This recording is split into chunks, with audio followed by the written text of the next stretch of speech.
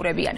ამ თემაზე საუბარს ჰელისკი ჯორჯიას დამფუძნებელთან ვატო ასათაშვილთან ერთად განვაგრძობთ. ბევრი კითხვა, ნო ვატო, მართლაც უპასუხოდ არის პირველ რიგში ძალიან დიდი მადლობა, რომ მოხვედით და გვაძლევთ ახლა შესაძლებლობას, რომ მაყურებელსაც განვუმარტოთ. ჩვენთვისაც ვეცადეთ ამ დღეების განმავლობაში გაჩენილ კითხვებზე პასუხი მიგვეღო, მაგრამ ვერ მოახერხეთ მაინც. ამიტომ თქვენ უნდა დაგვეხმაროთ თამაში. პირველ რიგში რო შეაფასოთ თქვენი გადმოსახედიდან ეს განკარგულება, რომელიც რამდენიმე დღის წინ გამოსცა პუტინმა. ნამდვილად საინტერესოა, საინტერესოა იმდენად, რამდენადაც წლებია ფაქტიურად მიმოსვლა, პირდაპირ მიმოსვლა შეჩერებული ქონდა და უფრო მეტიც სავიზო მიმოსვლა, უვიზო მიმოსვლა გაგვიხსნეს, რაც ცალსახად პოლიტიკური ნაბიჯია და ცალსახად ნიშნავს იმას, რომ საქართველოს ასე თუ ისე რუსეთის გადმოსახედიდან უნდა დაბრუნდეს რუსული ასე ვთქვათ მართვის ქვეშ, რუსული ზეგავლენის ქვეშ. და თუ აქამდე ქონდა მაგალითად ევროკავშირთან უვიზო მიმოსვლა, ახლა გვექნება რუსეთთან. ასე და თუ იმეს რუსეთში წასვლა უნდა კიდევ ვინახავთ რამდენი ადამიანი გავა. ძირითადად რა თქმა უნდა ნაკადი გავა მაინც ახმელეთო საზღვარზე, იმიტომ რომ განსაკუთრებით მცირე ბიზნესისთვის გულისხმობ ეს იქნება ინდივიდუალური მეწარმეები, ფიზიკური პირები, ხალხი, ვისაც რაღაც კავშირები აქვს რუსეთთან და ამ შემთხვევაში არ მაქვს საუბარი მხოლოდ მაინც და მაინც მოსკოვზე და პეტერბურგზე. ამ საზღვრის პირა რეგიონებში, მათ შორის კასპიის ზღვის სანაპიროზე, ძალიან ბევრი ადამიანი გავა საქართველოსდან, ცირე რაღაც ტვირთების გატანა შემოტანაზე, ამით ისარგებლებენ და რა თქმა უნდა, მათი დამოკიდებულება რუსეთზე გაიზრდება.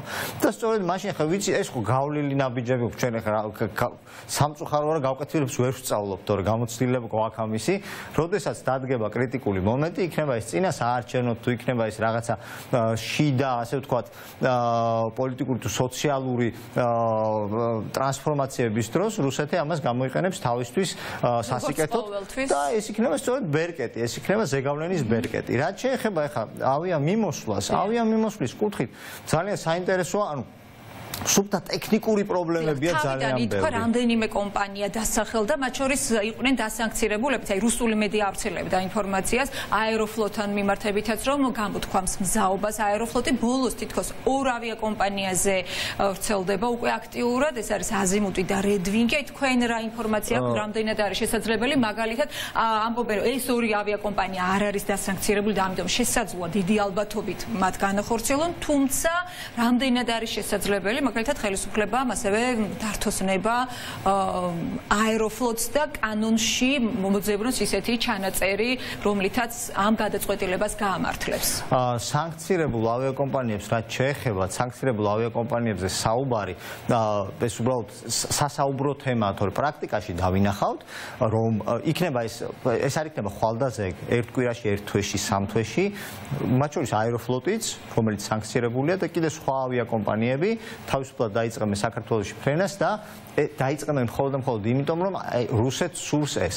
აა სუფთა ტექნიკურად რო შევხედოთ ახლა ამ საკითხს. წესით ამაზე განმარტება სამოქალაქო ავიაციის აგენტო უნდა გააკეთოს სამწუხაროა რომ დღეს აი სწორედ ესენი არიან დარგობრივი სპეციალისტები. შემდეგ ფაქტობრივად ვცდილობთ მაგრამ ვერ მოვიპოვეთ. და საქმე რაშია რომ სამოქალაქო ავიაციის აგენტო იმასაც კი არ ამბობს რომელმა ავიაკომპანიებმა გააკეთეს თუ გააკეთეს უკვე განაცხადი. ოფიციალური განაცხადი. მათ შორის ახლა ჯორჯიან ეოვეისი საუბრობდა რომ უნდა ესენი წლებია მომხრეებიანი ან პირდაპირ ესეთი პრორუსული ხაზის გამტარებელი კომპანია და სამარცხინო როდესაც კომპანიას აქვს პრეტენზია რომ იყოს ეროვნული ნაციონალური ავიახაზები და ამ დროს ოკუპანტი ქვეყნის ქვეყანაში პირველი რეისების ოპერირება სურდეს. ყოველ შემთხვევაში ვიცით რომ ჯორჯიან ეოის უნდა ვიცით რომ ესეც სპეკულაციის დონეზე რიგ რუსულ კომპანიებს უნდა საქართველოსში ფრენა, მაგრამ განაცხადი ვის აქვს გაკეთებული არ ვიცით.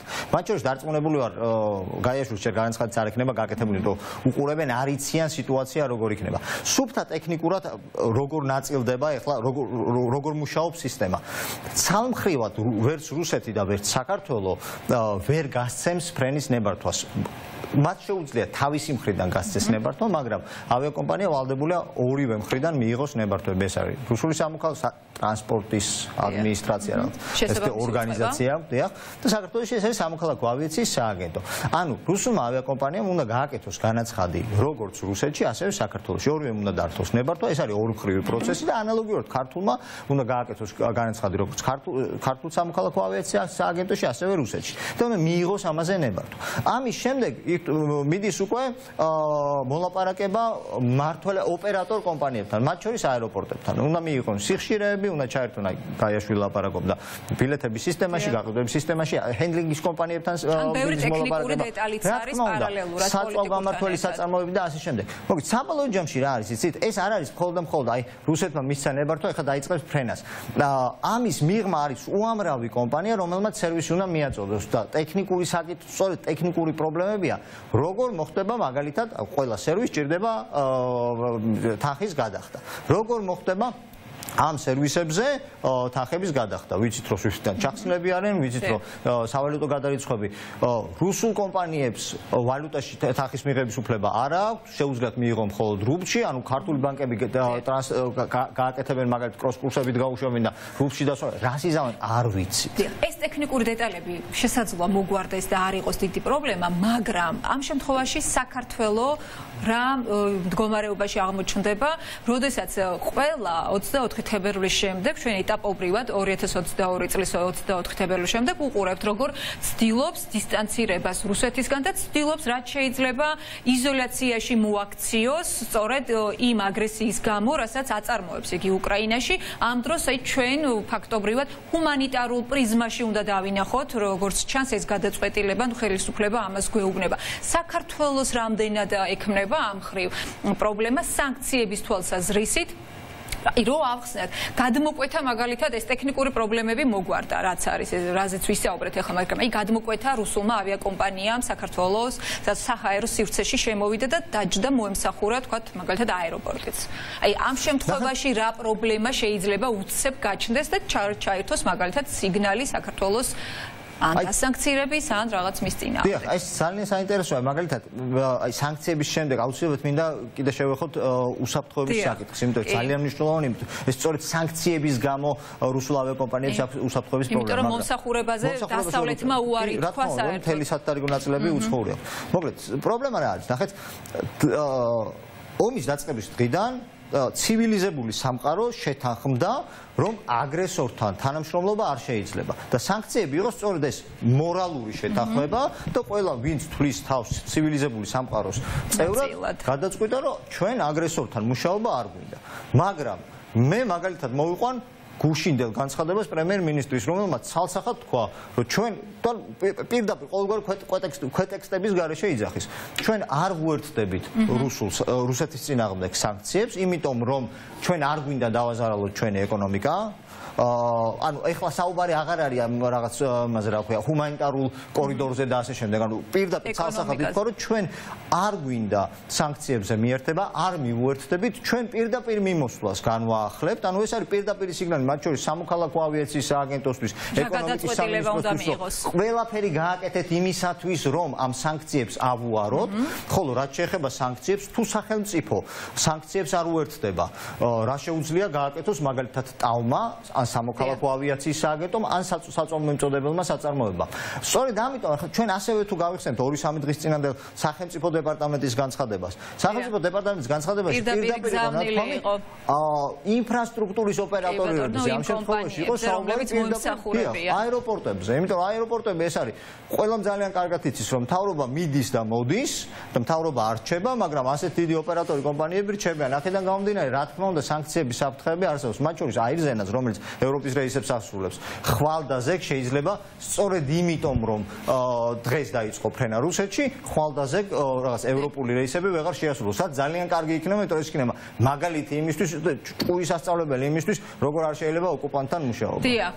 და ხო არ ჩდება იმის საშიშროებაც ჩვენ პოლიტიკოსებისგან უკვე მოვისმენთ ეს ესეთი მოსაზრება, რომ შესაძლოა მას შემდეგ რაც ეს ორმხრივი მიმოსვლა აღდგება რუსეთსა და საქართველოს შორის, ევროპულმა ავიაკომპანიებმა თქვან მაგალითად აქ რეისების განხორციელებაზე ესეთი ვერსიაც გაისმა და საქართველოს მოქალაქეებს მართლა უკვე მხოლოდ მოსკოვის მიმართულებით შესაძლოა დარჩეთ პირდაპირ რეისებიო იყო ეს ვერსია მართალი გითხრათ მე პირადად ან მგონია რომ კონკრეტულმა კომერციულმა ოპერატორებმა გამოუცხადონ ბოიკოტი ქვეყანას. ეს იქნება ძირითადად მაინც სახელმწიფო კი კი სწორედ ამიტომ მგონი ეს იქნება მაინც სანქციების პაკეტიდან ან სახელმწიფოს გადაწყვეტილებებიდან გამომდინარე. მათ შორის შეიძლება ის იყოს ევროკავშირის სანქციები შეიძლება სანქციები არა დავარქოთ გაფრთხილება. მათ შორის რამოდენიმე კომპანიის ოპერატორი კომპანიების ყვითელ სიაში ან თუნდაც წითელ სიაში გატარება. ეს იქნება სწორედ სიგნალი იმისთვის რომ რაღაც ბიზნეს აქტივობები შეიზღუდოს. ცალსახად რაც შეიზღუდება და ამას უკვე ისედაც ხედავთ.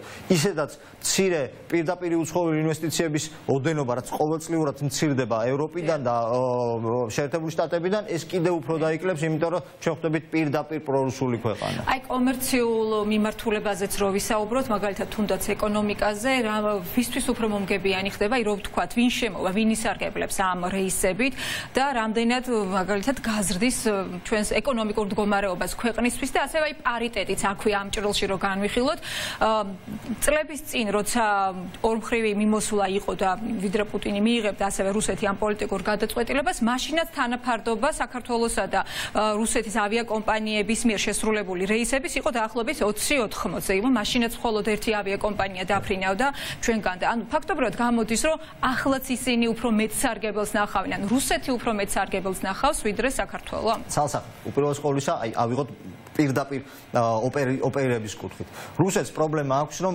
მათი ფლოტი, რომელიც სანქცირებულია, რომელიც მოპარულია მათ შორის, იმიტომ სალიზინგო კომპანიებს ჩამოართვეს და ფრენის უფლება აღარ აქვს ევროპის, ანუ ცივილიზებულ სამყაროში აღარ დაფრინავ.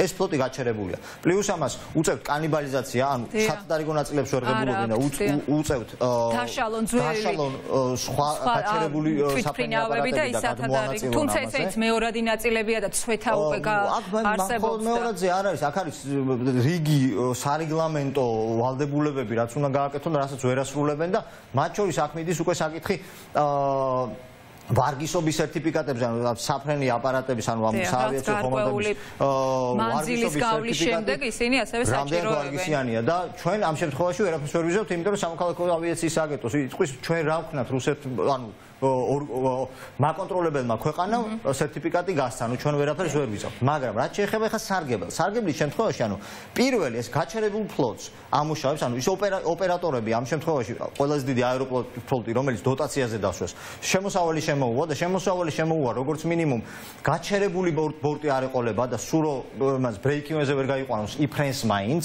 ეგ ერთი. მეორე, ავიღოთ მაგალითად საწვავის მიწოდება, ვიცით რომ დღეს მთელი საწვავის იმპორტი საქართველოსში დაკიდულია რუსეთზე. ანუ ეს ავიახაზები საქართველოს საწოლს არ ჩაასხავს, საწოლს ჩაასხავენ რუსეთში. ეს იმას ნიშნავს, რომ აქედან ჩვენ სარგებელი ვერ გვექნება. მინიმალური სარგებელი რაც ავიაკომპანია ჰენდლინგ კომპანიებმა უნდა მიიღონ ეს არაფერი არ არის ფაქტიურად.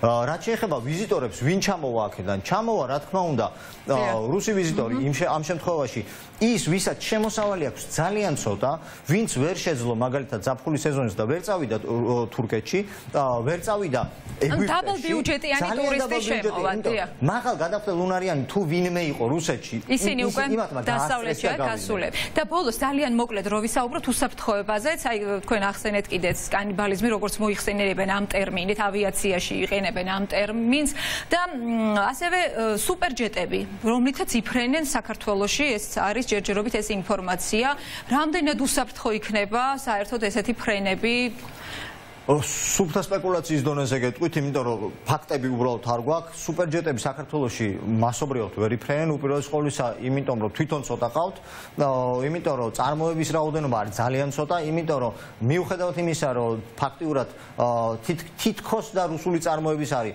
ფრთა რუსული არ არის, უცხოური კომპონენტებისგან შედგება, ძრავები რუსული არ არის და უცხოური კომპონენტებისგან შედგება და ეს ყველაფერი მოყვა ემბარგოზე და ანუ ეს კომპონენტები არ აქვს. აქედან გამომდინარე, სუხოი სუპერჯეტი ზუსტად იგივე პრობლემების ქვეშ არის, რაც აერობუსი და ბოინგი. აქედან გამომდინარე, მე რაც მგონია, ის დიდი რაოდენობის ფლოტი, რაც ყავთ მათ და დაკომპლექტებულია აერობუსებით და ბოინგებით, ეს ბორტები იფრენენ საქართველოში, სწორედ ესეთი მოდავარქოთ ლევის საბუთები ბრუნდებით რუსულად რო ვთქვათ ანუ გადატანილ, გადმოტანილ, გადაშლილ, გადმოშლილი საბუთებით, რომელსაც არც ერთს არ აქვს დაშვება ევროკავშირის სივრცეში, სწორედ იმიტომ, რომ ვარგისობის სტანდარტებს, ვარგისობის სერტიფიკატები და უსაფრთხოების სტანდარტებს ვერ აკმაყოფილებს, სწორედ იმიტომ, რომ მიწოდების ჯაჭვი დაირღვა და ჩვენთან იფრენ ესენი. კატასტროფები იქნება თუ არა, რა თქმა უნდა, არა, იმიტომ რომ ეს არ ნიშნავს იმას, რომ კატასტროფა იქნება, მაგრამ გამომართავობა, ტექნიკური პრობლემა, დისკომფორტი, რა თქმა უნდა, ეს ყველაფერი მე მოდის. და ყველაზე ცუდი, ყველაზე ცუდი, რაც გრძელვადიან პერსპექტივში